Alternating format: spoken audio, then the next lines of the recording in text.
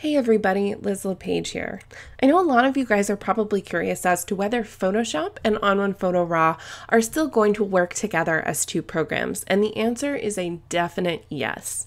If you're like me and you do professional retouching, or you really, really like to use a lot of the specialty tools inside of Photoshop, you want to be able to pair it with all of your other favorite programs like ON1.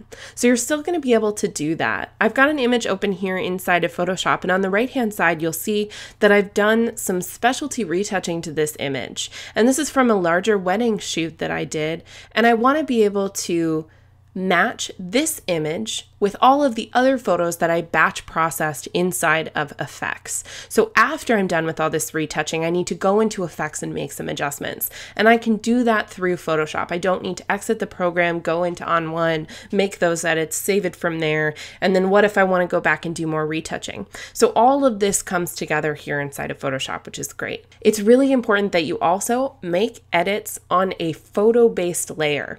You'll see at the top of my layer stack, I have this merged layer layer. If I tried to open ON1 with my image on a blank layer or on an adjustment layer, it's not going to do anything. So do make sure that you make that adjustment before you go into ON1. Now, there's two different ways that you can access the suite. There's an ON1 panel, which you'll see up in the top right hand corner, which I can open up, and I'll have access to all of the different programs inside of ON1.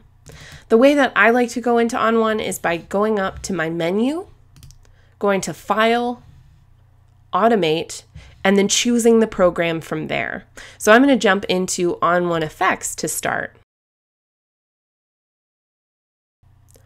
So I've got my photo here inside Effects, and on the left-hand side, I have all of my different presets. And as I mentioned before, this wedding was processed with a lot of presets to make the editing process go faster. So I'm gonna jump right into my faded and matte category, and I'm gonna go to the preset that I was using earlier with this same wedding. We'll go ahead and choose matte 2. On the right-hand side, the new effect stack makes it a lot easier to customize to this image. So all of the filters that were applied to this photo are expanded and I can make really fast adjustments. For instance, if I go down to my tone enhancer, this is where I apply the matte, but this photo is a little dark, so I actually want to lighten it up a bit more. So I'm going to go ahead and do that here. I also want to darken my blacks. So it was a little dark, but I also need to make sure that those blacks are solid and they have that nice reddish tone to them that's applied with my vintage filter. So I can go through and I can scroll up and down this effect stack way easier than I used to and make fast adjustments. Once I'm done, I can go ahead and just click done and it's going to bring me back into Photoshop. And there we go.